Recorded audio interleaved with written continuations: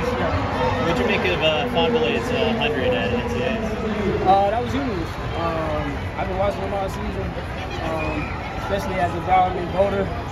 You know, I'm always paying attention, and um, so uh, that was that was pretty big week. Uh, so we spoke a little bit about it yesterday, but talk to me about um, you transitioning into coaching right at Kentucky and some of your plans with coaching moving forward. Um, so I don't know. I haven't really gave too much thought about like going and, and being like a track and field coach. Um, I feel like I'm still learning myself. Like everything I know about sprinting, I've learned from my coach. He's the sprint coach at, at Kentucky right now.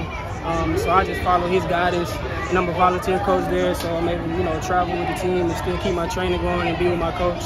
Um, so I feel like you know, just being in that environment and having some of the guys, you know, tell me, you know, that they look up to me and stuff. It means a lot.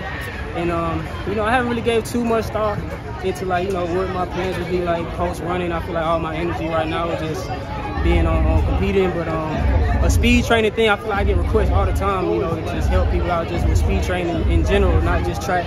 So I feel like, you know, maybe that might be in my future. Nice. And can you tell me about some of your role models um, who you looked up to get into the sport, either in track or even outside of the sport? Uh, shoot, I mean, outside of the sport, I feel like growing up in Atlanta, I mean, guys I looked up, looked up to, you know, guys like Michael Vick, Warrick Dunn, Deion Sanders, somebody you always want to model your like your lifestyle and like competitive spirit after. Um, but I mean, I've told the story before. I remember being eight years old watching Justin Gatlin win the Olympics in um, in Athens in 2004. Um, so guys like you know Gatlin, Maurice Greene, of course everybody looked up to the you know the big man look up to both. Um, so yeah, I would, I would have to say probably Gatlin and Maurice Greene were guys that I you know really wanted to emulate when I was you know coming up running. Nice. And then last question, you of course do the 100 and you dabble in the 200, but if you could do any other event that's not your primary event, you've never run it before, could be on a track, could be on a field, what would you jump into?